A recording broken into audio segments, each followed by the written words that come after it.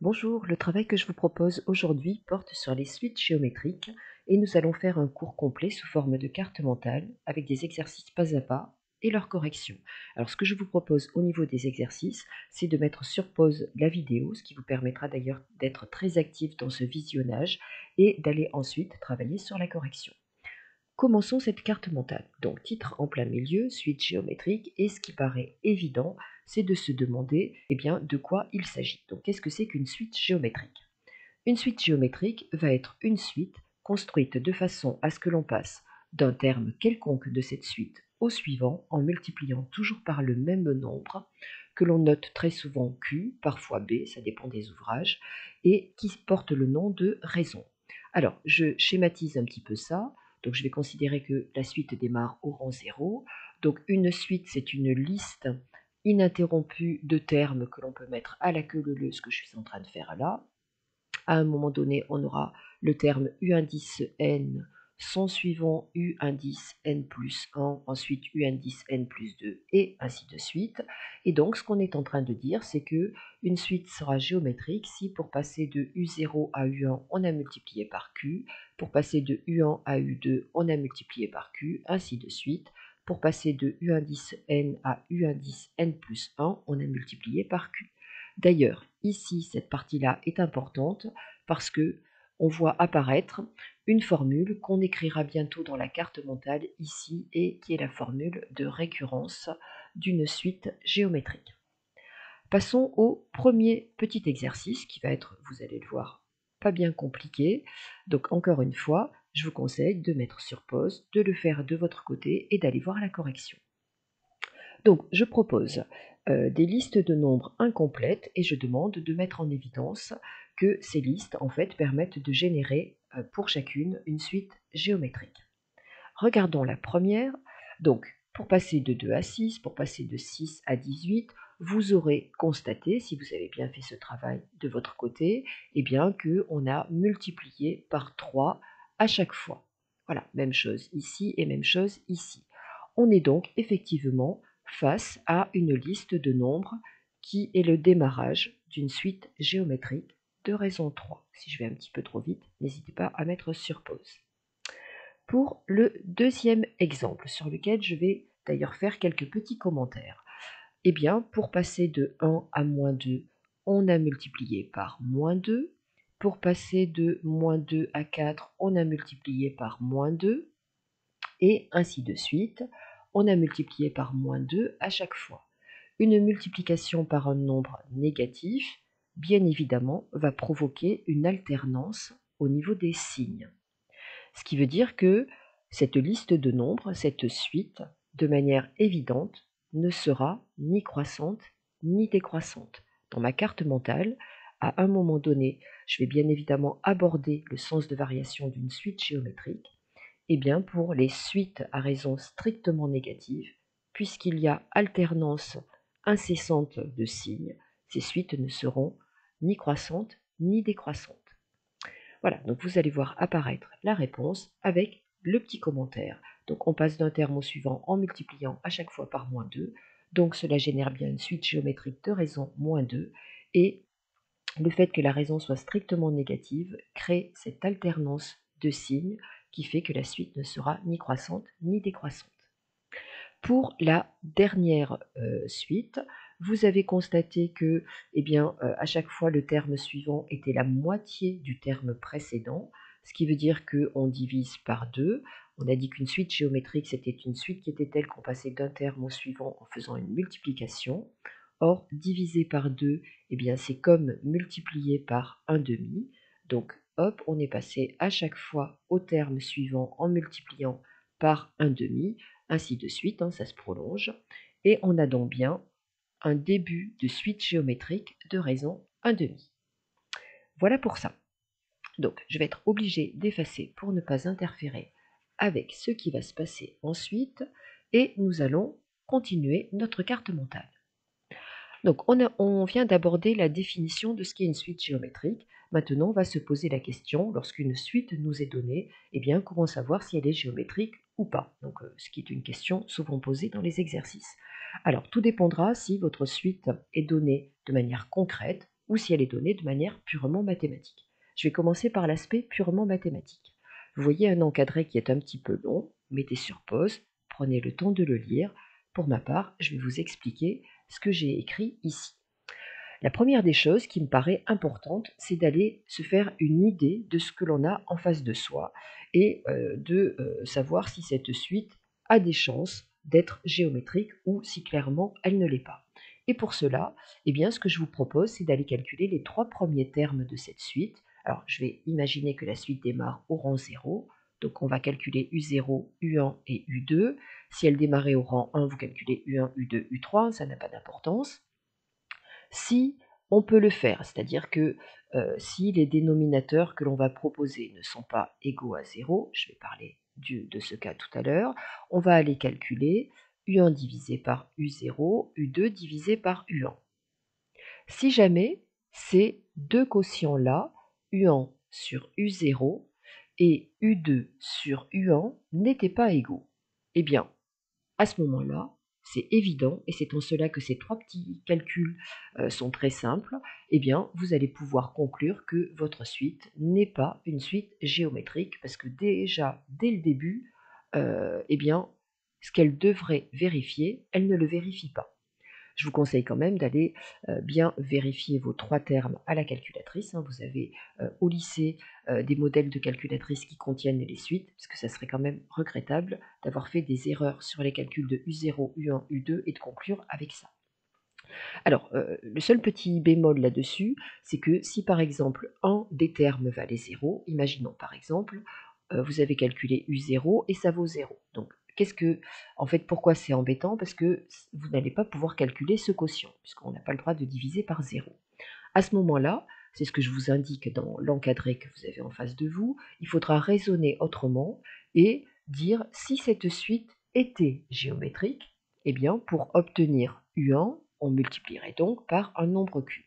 Or, 0 multiplié par n'importe quel nombre Q, ça donnerait 0. Et vous irez comparer avec votre terme U1 que vous avez trouvé là. Si votre terme U1 n'est pas égal à 0, eh ben c'est clair et net, la suite n'est pas géométrique.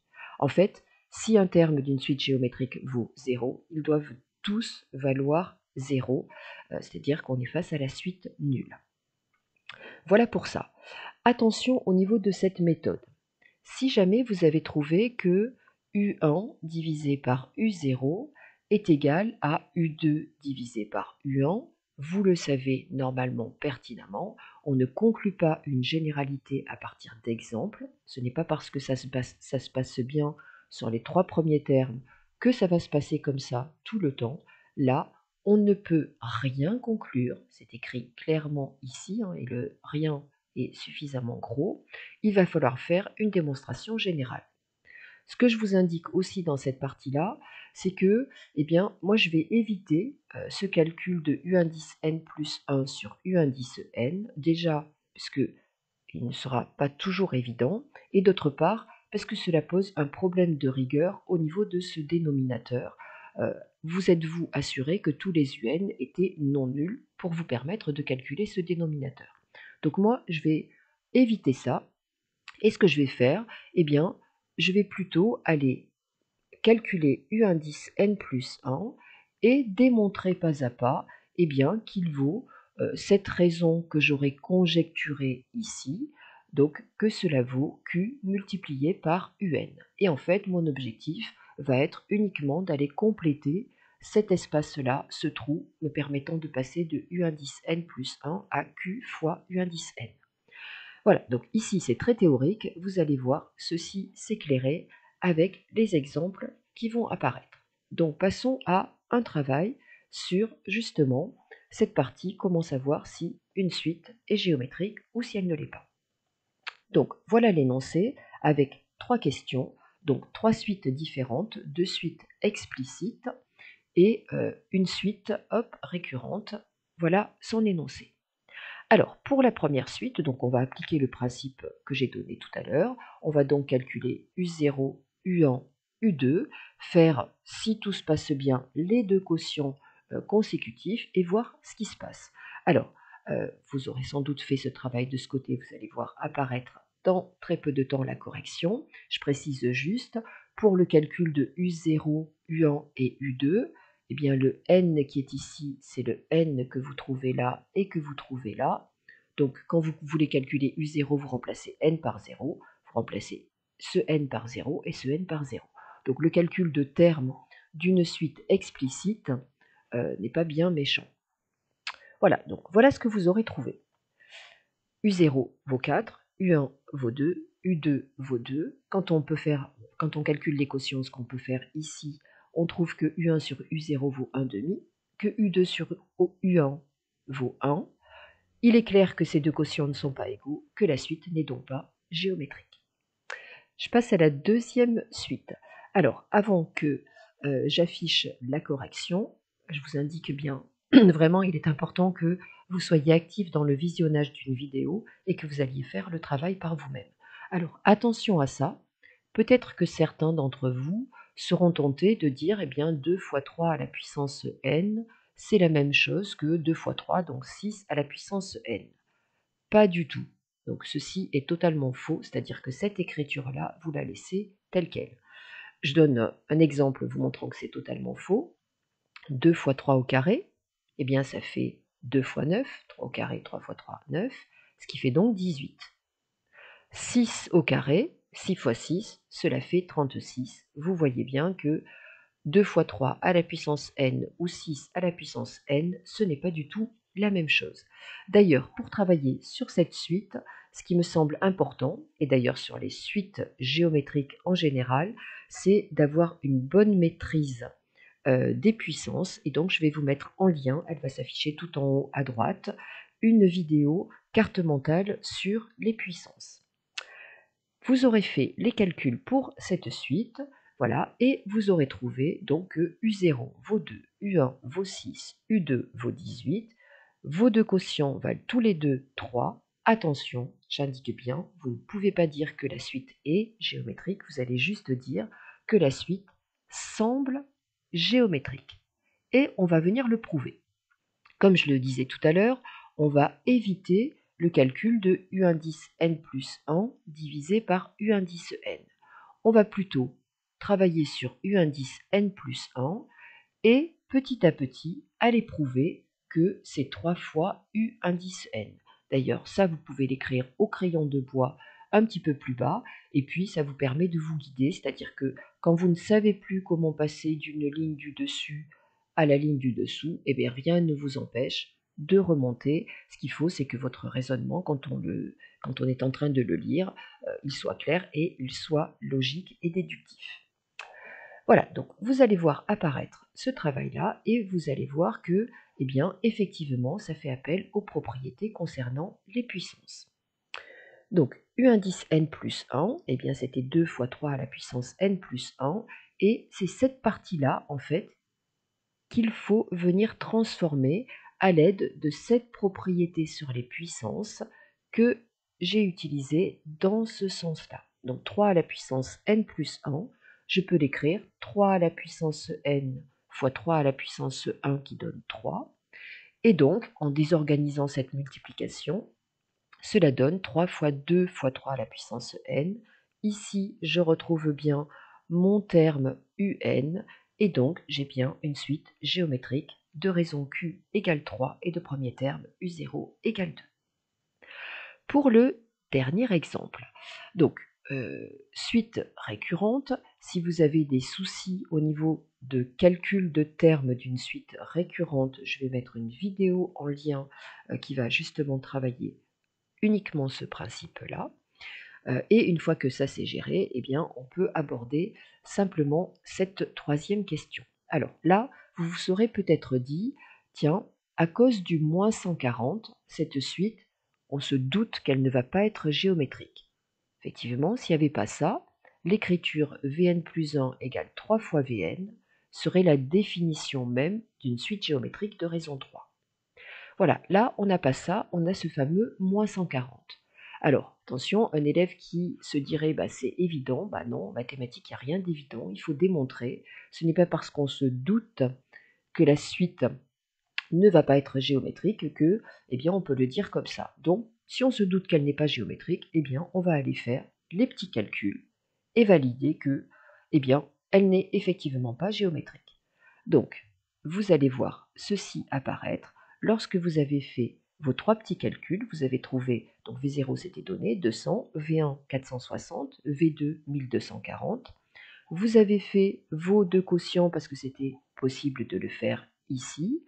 Ces deux quotients donnent pour l'un 2,3, pour l'autre à peu près 2,7. C'est clair et net, la suite n'est pas une suite géométrique.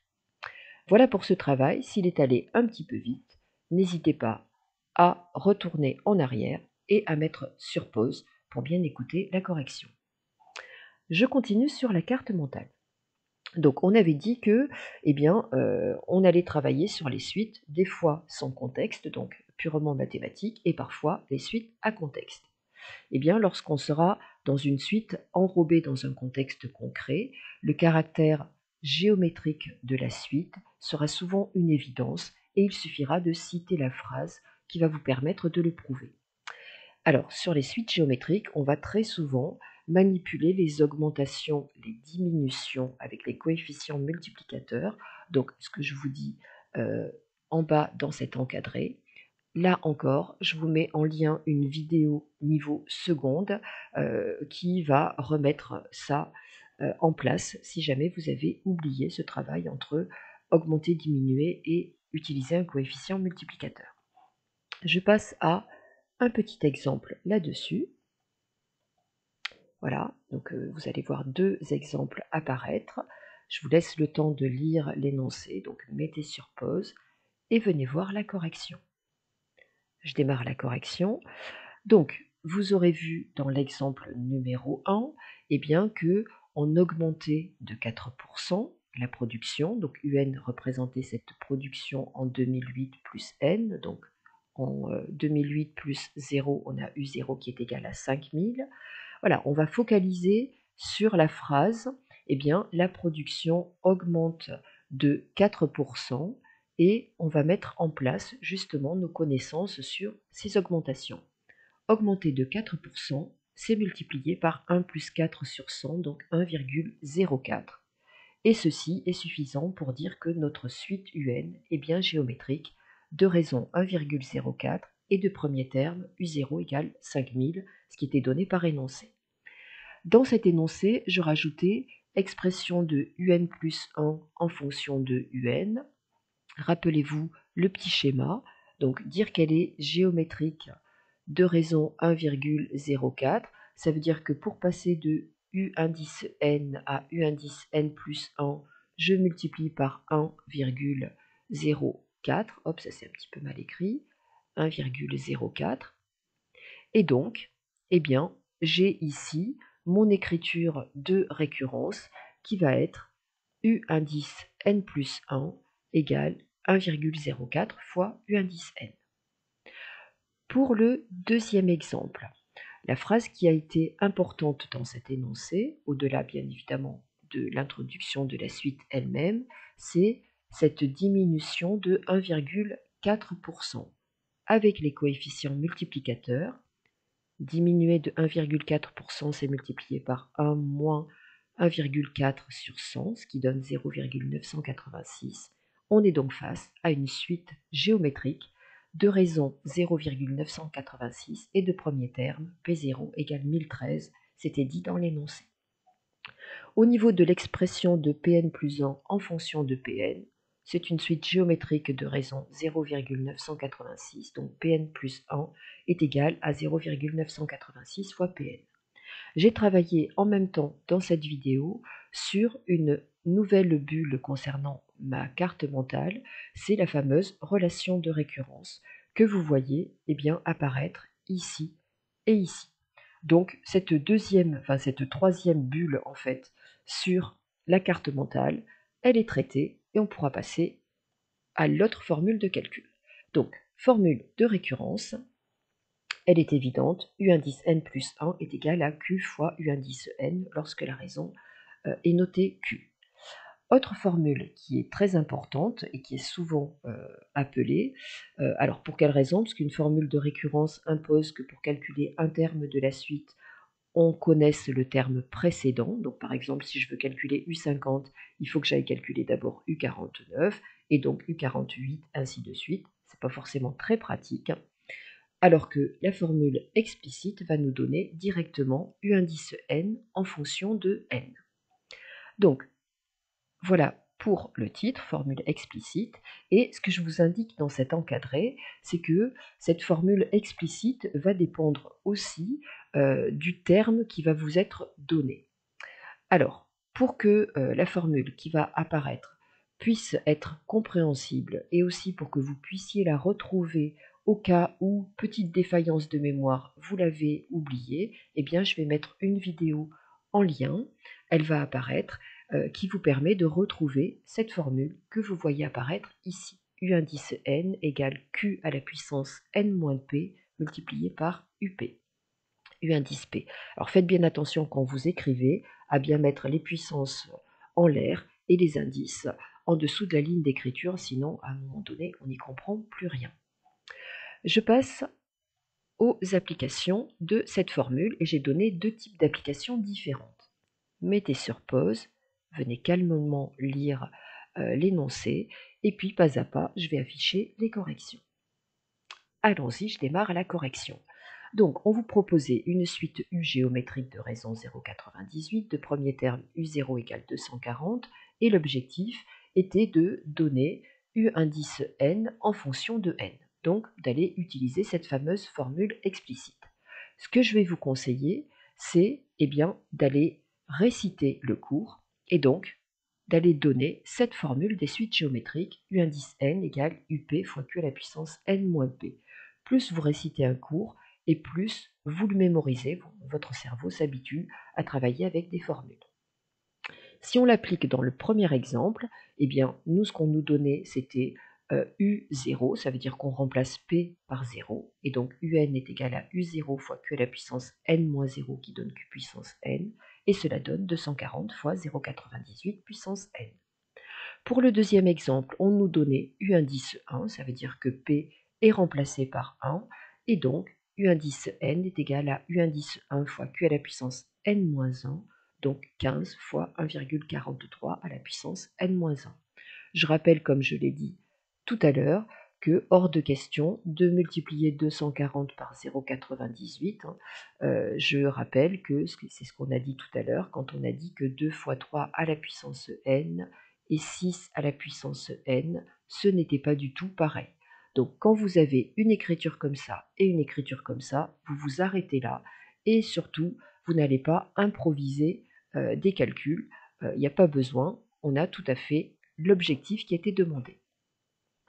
Dans euh, l'autre application, parce que en effet, cette formule-là, U indice n égale UP fois Q à la puissance n moins P, n'a pas que pour objectif d'aller calculer un terme, ça peut aussi nous permettre d'aller calculer la raison de la suite ou d'aller calculer un indice, eh bien on a d'autres types d'applications. Donc là, je donne deux termes de cette suite, U1 et U3, et je demande d'aller déduire là ou les raisons possibles de cette suite que l'on sait géométrique. Donc, eh bien, qu'est-ce qu'on fait? J'espère que vous aurez réussi à le faire. On va là encore aller utiliser cette formule, mais cette fois-ci, eh bien, U indice n, on va par exemple le remplacer par U indice 3, donc ça veut dire que n prend la valeur 3. U indice p, on va venir le remplacer par U indice 1, ce qui veut dire que P prend la valeur 1, et donc notre n-p va devenir 3 1. Donc vous allez voir ceci apparaître. Voilà, donc pour l'autre application, on déduit de la relation un lien entre U1 et U3, donc ce que je viens d'expliquer. U3 est égal à U1 fois Q à la puissance 3 moins 1, donc U3 valant 75, U1 valant 3, 75 est égal à 3 fois Q au carré ce qui donne q au carré égale 25. Et j'espère que vous aurez bien fait attention à ce type d'équation, normalement que vous avez manipulé pas mal de fois. Cela donne deux valeurs possibles de q, donc deux suites géométriques possibles, une avec pour raison 5 et l'autre pour raison moins 5. Et j'ai rappelé donc ce principe de cours sur les équations de la forme x au carré égale a avec a strictement positif qui ont deux solutions et souvent, eh bien malheureusement, vous oubliez celle-ci. Voilà pour ce travail. Donc si c'est allé trop vite, n'hésitez pas à ralentir le rythme en mettant sur pause et si je vais trop lentement, eh bien euh, vous pouvez aussi accélérer un petit peu le rythme. Je passe à euh, connaissance suivante qui va porter sur le sens de variation d'une suite géométrique et je ne vais m'intéresser qu'aux suites à terme strictement positifs puisque, je l'ai dit tout à l'heure dès le premier exercice, lorsque la suite, enfin lorsque la raison est strictement négative, il y a alternance sans arrêt de signes au niveau des termes et donc c'est une suite qui n'est ni croissante ni décroissante. Alors, vous allez voir que ce sens de variation, et je vais le manipuler euh, dans un exercice qui va venir après, eh bien, je peux le traiter de deux façons différentes. Soit je connais un théorème par cœur, mais attention, ce théorème, il est fait de plein de phrases différentes, et donc il faudra bien se mettre dans la situation euh, et bien rédiger pour que on voit bien que vous avez utilisé la bonne partie du théorème. Soit je n'utilise pas euh, de théorème et bah, je travaille comme d'habitude sur le sens de variation d'une suite. Je calcule U indice n plus 1 moins U indice n et j'étudie le signe de cette différence. Voilà, donc tout ceci, c'est ce que j'ai expliqué dans cet encadré que vous avez en face des yeux, que vous pouvez mettre sur pause et que vous pouvez lire calmement. Et vous voyez bien que dans le théorème, on a vraiment euh, eh bien, plusieurs cas différents et il faut bien tenir compte de chacun de ces cas différents. Ma façon de faire ici démontre d'ailleurs ce théorème. Je vais passer à un exercice, mais prenez bien le temps de lire le théorème. Et je vous rappelle aussi que cette carte mentale, ce qui sera important pour vous, c'est d'aller la refaire euh, de façon à avoir de manière très visuelle toutes les connaissances, alors quasiment toutes les connaissances, puisque je n'aurai pas traité dans cette vidéo des limites, enfin de la limite de q à la puissance n. Ce sera le seul petit manque, mais euh, vous le trouverez dans une vidéo annexe euh, que je dois du coup faire. Voilà, donc je passe à une application de ça. La voici, elle va apparaître. Donc, je demande de donner le sens de variation de la suite géométrique U de raison Q égale 0,67 et de premier terme U0 égale 120. Voilà, travaillez de votre côté et venez voir la correction, que je vais traiter de deux façons différentes. Première façon, un élève qui connaît, enfin, qui connaît très bien le théorème, normalement vous devez connaître vos théorèmes, et qui va donc le mettre en évidence, et c'est là qu'il faut faire attention à la rédaction, vous allez devoir bien mettre en évidence eh bien, la situation du théorème dans laquelle vous êtes. Donc voilà la rédaction que je vous propose. Donc U0 est égal à 120, il est positif. Q est égal à 0,67, c'est compris entre 0 et 1. Je recite la phrase du théorème. U0 est positif, donc c'était notre premier terme. Q est compris entre 0 et 1. On est dans le cas où la suite va être décroissante. Autre possibilité, parce que voilà, le théorème, euh, eh bien, je n'ai pas envie de l'utiliser, je vais venir démontrer. Et donc, pour démontrer ça, je vais aller calculer U indice n plus 1 moins U indice n. Alors, la première des choses que je vais faire, c'est d'aller donner la formule explicite portant sur U indice n. Et donc là, je vais aller utiliser U indice n égale UP fois Q à la puissance n-p. Avant que la réponse apparaisse, je vous explique. Donc si vous avez eu quelques petits soucis, écoutez les explications et puis remettez sur pause pour essayer de faire par vous-même. Donc une fois qu'on aura l'écriture explicite, on va pouvoir donc donner cette différence U indice n plus 1 moins U indice n en fonction de n. Et vous allez voir que dans le travail, je vais de nouveau aller utiliser la propriété des puissances que j'ai déjà utilisée un petit peu plus haut et qui est la suivante et que je vais utiliser dans ce sens-là. Et c'est ça qui va débloquer en fait la situation.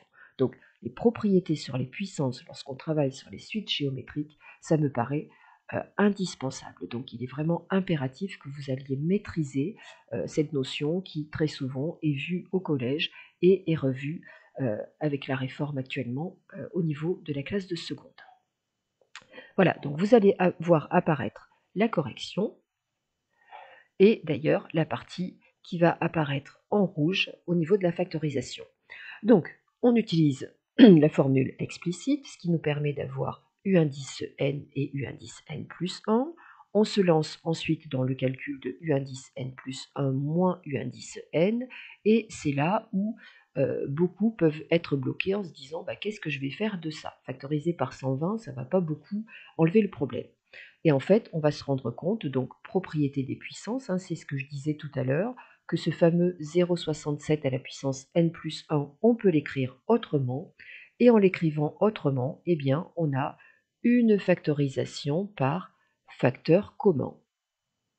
Voilà. Et quand on va factoriser, donc écrire sous forme d'un produit, eh bien, euh, notre 0,67 moins 1 qui donne moins 0,33 et que je suis venu multiplier par 120 va nous donner en fait ce résultat, moins 39,6 fois 0,67 à la puissance n.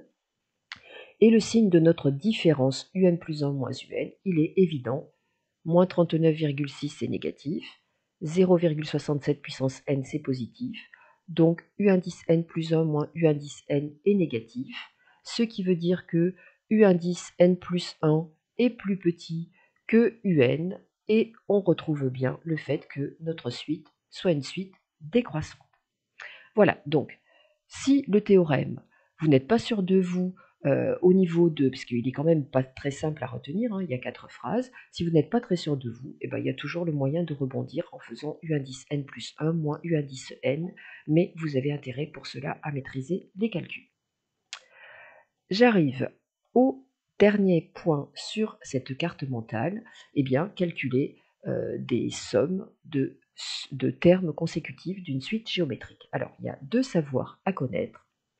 Un savoir qui va permettre de démontrer le suivant, eh bien, il y a la somme 1 plus q plus q au carré plus q au cube plus q puissance n que vous devez connaître, dont le résultat est celui-ci lorsque q est différent de 1, alors, je n'ai pas fait la démonstration ici, mais je vous renvoie sur une vidéo que je mets en lien pour, la enfin, pour une façon de démontrer cette formule.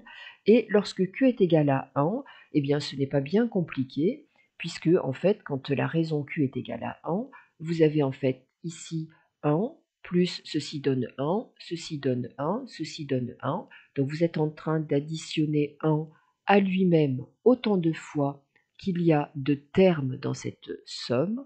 Combien y a-t-il de termes dans cette somme? Eh bien, on va, aller, on va aller les compter. Ça, c'était le premier. Ça, c'est le deuxième. Ça, c'est le troisième. Tiens, j'observe un décalage entre la puissance et le numéro du terme, un décalage de plus 1. Donc ça, c'est le n plus unième, ce qui veut donc dire qu'il y a n plus 1 termes là-dedans, et n plus 1 multiplié par 1, ça donne n plus 1. Donc, ce que vous allez voir apparaître, hop, juste ici, quand q est égal à 1, eh bien, cette somme vaudra tout simplement n plus 1. Voilà, et autre somme qu'il faut être capable de calculer, eh bien, c'est une somme de termes consécutifs d'une suite géométrique. Alors, on a un moyen de, la calculer, c'est par factorisation de se ramener à cette connaissance 1 plus q plus q au carré plus q puissance n. On a aussi une autre façon de calculer ce type de somme par ce que vous voyez tout en bas ici, une autre formule. Donc premier terme écrit dans la somme multiplié par 1 moins raison puissance nombre de termes écrit dans la somme sur 1 moins la raison. Je vous donne rendez-vous dans une vidéo que je mets en lien pour mettre en évidence eh bien, cette euh, dernière façon de calculer une somme, parce que sinon ma vidéo va peut-être durer un petit peu trop longtemps. Voilà, donc vous avez encore une vidéo qui va être mise en lien. Euh, d'ailleurs, euh, j'ai fait une playlist sur les suites géométriques. Vous pourrez aller donc travailler sur plusieurs types d'exercices. et n'hésitez pas à le faire, il faut s'entraîner en mathématiques. Une application de ces sommes, voilà l'énoncé, donc je donne trois sommes à calculer. Euh, la première somme, 1 plus 3 plus 3, 3 au carré, 3 au cube, plus 3 puissance 10. Voilà, vous aurez vu que c'est exactement la formule, vous aurez calculé de votre côté, et puisque c'est exactement la formule, on cite de nouveau cette formule, ici Q est bien différent de 1 puisque Q est égal à 3, et on l'applique 1 moins 3 puissance 11 sur 1 moins 3, et on fait le calcul, puisque ici c'est possible. Alors bien évidemment, si vous aviez 1 moins 3 à la puissance 250 divisé par 1 moins 3, donc divisé par moins 2, eh bien 3 euh, à la puissance 250, vous n'allez pas pouvoir en donner sa valeur exacte, donc vous laissez ça comme ça. Voilà, mais là on pouvait calculer puisque 3 à la puissance 11, c'est raisonnable. Pour le 2 petit a, donc on est cette fois-ci face à une suite géométrique et on nous demandait de calculer euh, cette somme t, donc on va venir faire apparaître cette formule.